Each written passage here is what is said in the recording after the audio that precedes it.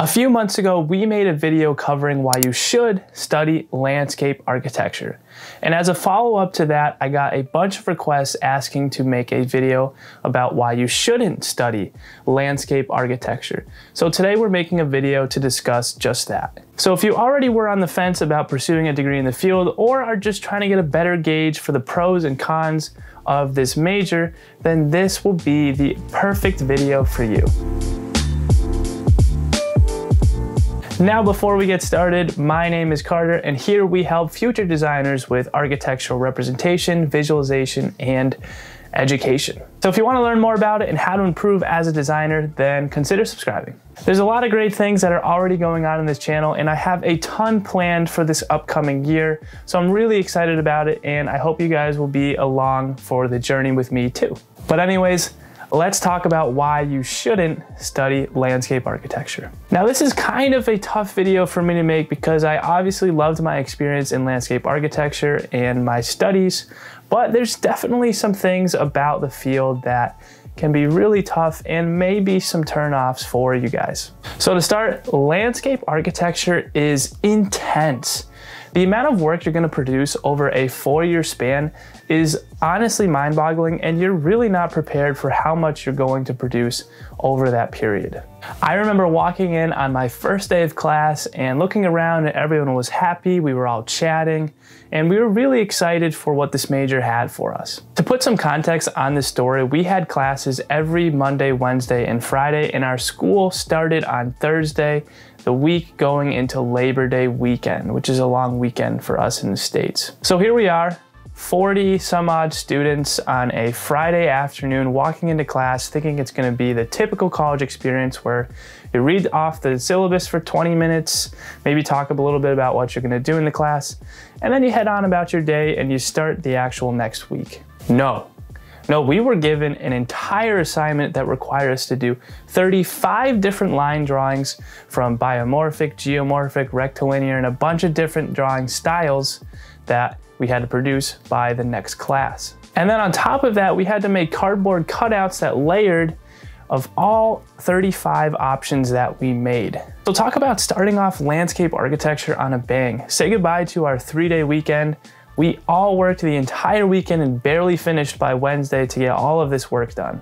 And of course, it didn't get much easier from there, but looking back, that class in First Studio was definitely a we out studio for the people who really kind of weren't interested in that major. And boy, let me tell you, we lost about half the class after that very first studio.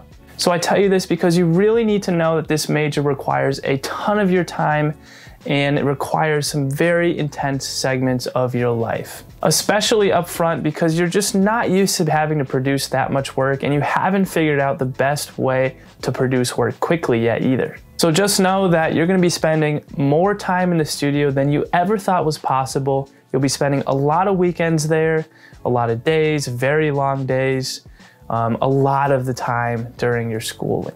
Now, another thing to be aware of is landscape architecture is actually really expensive. Buying materials, books, drawing equipment, drawing softwares and utensils, it all adds up really, really fast in that first year, first semester. Now, this is something I didn't consider at all when I went into the field and just didn't know how much things costed. You know, drawing utensils, paper, all those things, they really add up really fast. You have one Michael strip and you're already at hundred bucks. So be prepared to drop a couple hundred bucks in your first couple semesters and it will might continue on all the way through your schooling.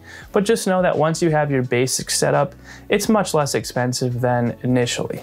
Next, let's talk about the absolute brutal criticism you will endure in your professional career as well as in school. Design fields are tough. Everyone has their own perspective, their ideas, and what your whole design should be and what it should be all about. And if it's not what they had envisioned or think it should be, then they'll let you know. And it may be nice or it may be in a really hurtful and harmful way. So you'll need to be able to develop thick skin and learn to deal with criticism and take criticism with a grain of salt very early on, if not coming in. Because if not, they are going to eat you alive and you're going to hate yourself and you just you just don't want to do that. So if you do go this route, just know that every opinion is just an opinion. It may not mean that your drawing sucks, your plan sucks, whatever you did sucks, or is bad, or is wrong. It might just be a different perspective, and it's just something you just have to be aware of. Next, let's talk about the level of collaboration you're going to need as a landscape architect. And yes, that means you are gonna have to do some group work. So I'll tell you right now, if you thought you were going to just design stuff in your free time and be on your own, boy, are you wrong. There's so much collaboration in this field. And if that's what you're looking to do, then do not become a landscape architect. This field is gonna have you collaborating with a lot of people over the course of your studies and your career. So you need to learn to be a good team player or you really will just hate it and there's nothing else you can do about it. Because as much as landscape architecture is a design degree, it's also a very highly communicative degree and requires you to really think about how other people are experiencing things, as well as talk to others to get some better gauges on what's going on in the world and in design. And just so you know, if you thought it was just in school and once you get out of school, to hell with that, no, you have to work with architects, developers, and engineers, which can honestly be way, way, way, way worse than just dealing with your classmates who are all around the same age as you and are doing the same profession and field as you. Trust me on this one. And of course, if you didn't like talking to people already, just know that you're gonna have to deal and work with clients as well. So again, if you wanna communicate with no one, work a simple life behind a desk, landscape architecture is not gonna be the profession and job for you. Next, let's talk about the absolute trash wages and the absolute trash treatment you will get as an entry level employee starting out. Unfortunately, like many other design fields out there, you are going to have to pay your dues, and thus it's going to lead you to some really poor benefits, poor pay, and poor outcomes in the first year, two, or even three years. Since design fields place such a heavy emphasis on real world experience, you're going to be kind of kicked to the can the first couple years, and it really kind of takes a toll and sucks after you just came out of school and you really just want to get out there and work, make some money, work on some real designs, and you're just kicked over to the CAD bin over there and you sit there for a year. Now, I'm not saying that's what you're going to do the rest of your career, or it might not even be what you do in your first year. It all depends on your situation and where you end up going to.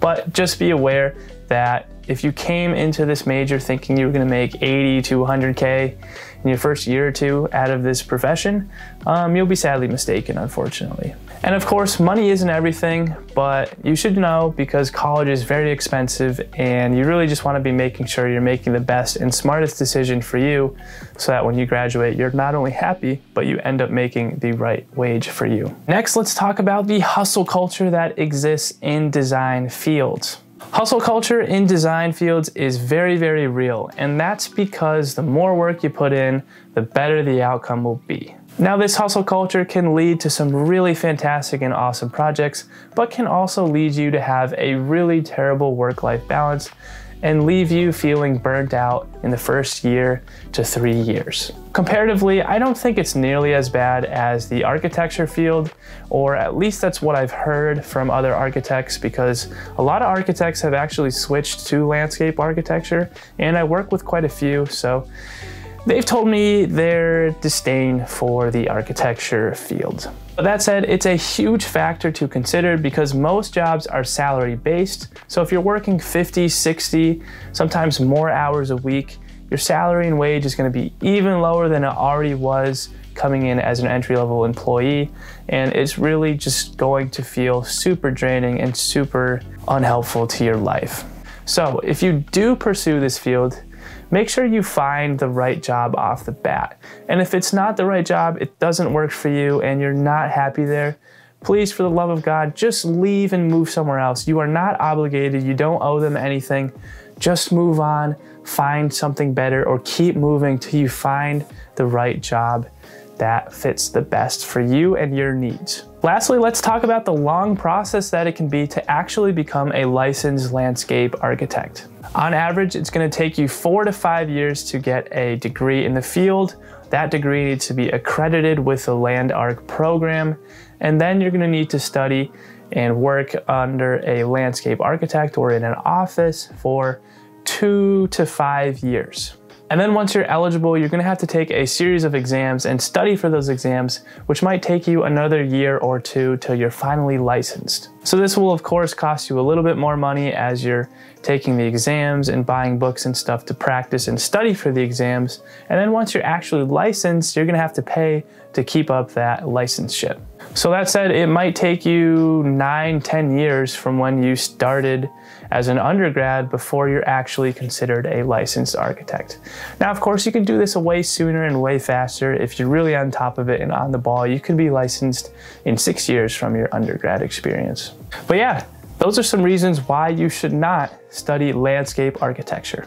Now, of course, if you really listen to the video, a lot of these reasons can be avoided and are very superficial and don't really have to apply to you if you don't let it happen to you. Landscape architecture can be a really fun experience and I've really enjoyed my experience. You just have to know what's ahead of you and be prepared and learn how to properly deal with it in your own way that works best for you. So if you want to learn more or really don't believe me after watching this video, then I encourage you to watch my Why You Should Study Landscape Architecture video. I'll leave a link in the description for that video and also place it up in the tagline here for you guys to head on over to watch that. And of course, if you found this video useful and enjoyed the content, please drop a like. It helps push this content out to others. It helps the algorithm recognize who I am and helps put me out to a bigger audience. And also, if you guys didn't know, I'm doing a July architecture sketch challenge over on my Instagram. So if you want to check that out, check me out at, at designitgreen over on my Instagram handle. But anyways, that's all for today. Make sure you guys subscribe if you haven't already, and I'll see you in the next video. Take care, everyone. Peace.